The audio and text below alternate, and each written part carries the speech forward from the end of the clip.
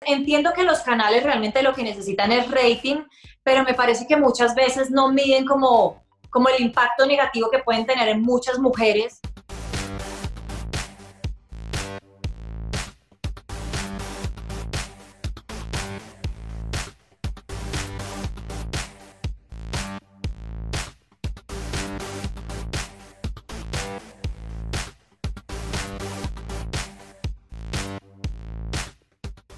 Eh, definitivamente el modelaje para mí fue como, como una segunda, no sé si carrera, fue más como un hobby. Cuando yo ingreso a la universidad eh, a estudiar mi carrera, yo soy abogada, antes que cualquier otra cosa soy abogada, alterné mis cinco años de abogacía, eh, siempre haciendo como cositas de modelaje. Cuando estaba en séptimo semestre de la universidad, este, decidí participar en Miss Colombia. Digamos que ahí en la preparación para hacer Miss Colombia, Em, hacíamos como juegos de rol y siempre me tocaba a mí ser como la entrevistadora o la presentadora y como que todo el resto de mis compañeras misas me decían como, bueno, no, tú deberías ser presentadora, te va súper bien, lo haces muy bien.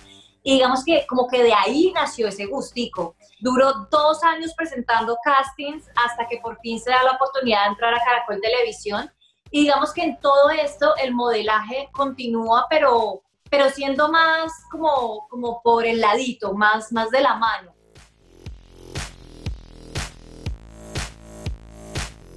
Bueno, esa experiencia fue fea, bastante mala. Yo realmente no la recomiendo porque, pues entiendo que los canales realmente lo que necesitan es rating, pero me parece que muchas veces no miden como, como el impacto negativo que pueden tener en muchas mujeres que nos llegan esa, a usar, más que todo como un instrumento para lograr ese rating y para lograr lo que ellos quieren. Y, y no nos valoran realmente. Entonces, digamos que para mí fue una experiencia muy negativa pero como que nunca me quejo de las cosas malas que me han pasado porque esas cosas malas son las que me han impulsado a llegar hasta donde estoy ahora.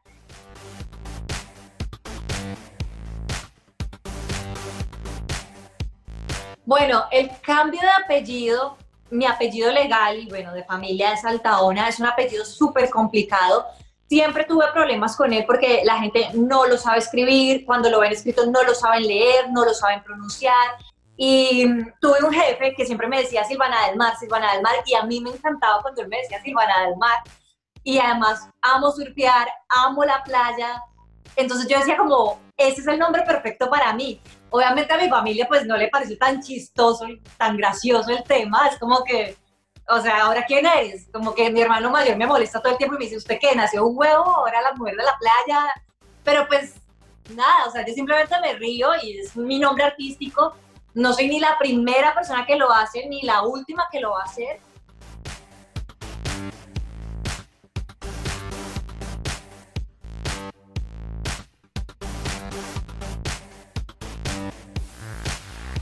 Bueno, soltera, llevo como ya más de seis meses, sola, solita, sola, o sea, sin pretendientes, sin nada, sin salir con nadie, sin conocer a nadie.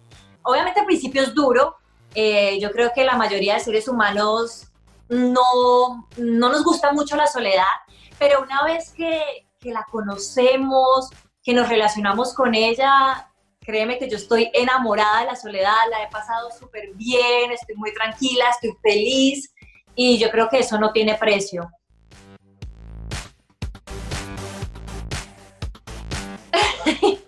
la verdad, en este momento, eh, no lo sé.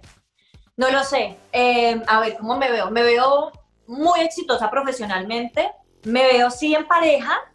Creo que sí, también me veo casada otra vez. Eh, no me veo mucho con hijos, pero pues uno nunca puede decir como que esta agua no beberé porque, mira, se terminó no tomando el, vaso completo y repite.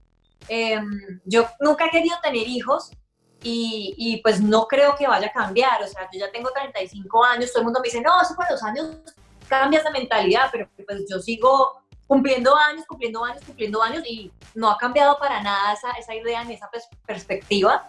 Y yo creo que voy a estar mucho más enfocada como en mi carrera y, también como, como volviéndome un poco más solidaria, no sé si es la palabra, como bondadosa y ayudar muchísimo más a la gente.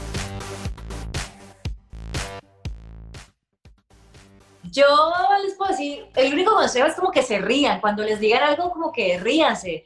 Yo creo que nosotras ya somos de una generación de mujeres muy diferentes, somos ya una generación de mujeres que trabaja, que somos independientes, que somos nuestras propias proveedoras y, creo que, que, también por eso nos ha cambiado ya mucho la mentalidad de lo que antes la sociedad le imponía a la mujer. Yo creo que todos esos paradigmas han cambiado muchísimo y yo soy como que una fiel muestra de, de las mujeres de esta nueva generación que somos como muy hechas para adelante, somos muy luchadoras, muy berracas, como decimos en Colombia, y ya no necesitamos realmente como un hombre eh, para nada, en ningún sentido.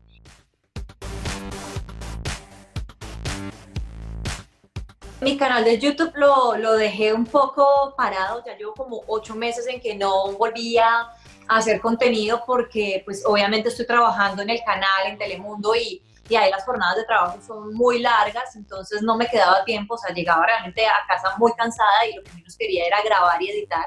Eh, ahorita que estoy trabajando desde casa en todo esto de, de, la cuarentena, la gente me lo ha pedido muchísimo, que por favor vuelva a, a sacar capítulos nuevos en el, en el, canal de YouTube. Entonces viene, viene una nueva temporada de Solo para ellos, la Silvana del Mar. Ténganme un poquito de paciencia, que yo creo que por ahí en unas dos semanas voy a estar eh, lanzando la nueva temporada.